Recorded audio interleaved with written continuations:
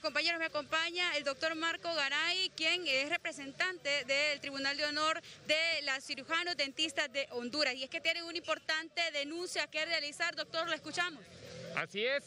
El Colegio de Cirujanos Dentistas de Honduras exige al gobierno, profesora Alba Consuelo, incluya a los cirujanos dentistas en esa lista de primera necesidad.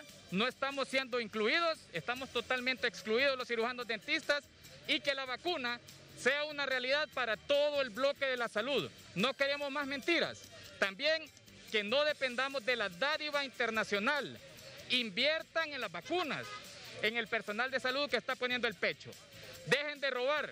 Aquí está el ejemplo. Estas latas mortales. de la primera línea. Estas latas mortales, que es una estafa para el pueblo hondureño, inviertan en la salud del personal médico, odontológico, enfermeras, microbiólogos y luego en todo el pueblo hondureño.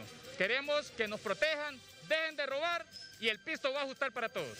Doctor, ¿cuántos cirujanos dentistas deberían de ser incluidos eh, en este grupo médico que debe de ser vacunado? Somos 5.000 odontólogos a nivel nacional del bloque público y privado que exigimos al gobierno una pronta respuesta, que seamos incluidos en esta lista en la primera línea y que sea una realidad la vacunación para todo el bloque de la salud.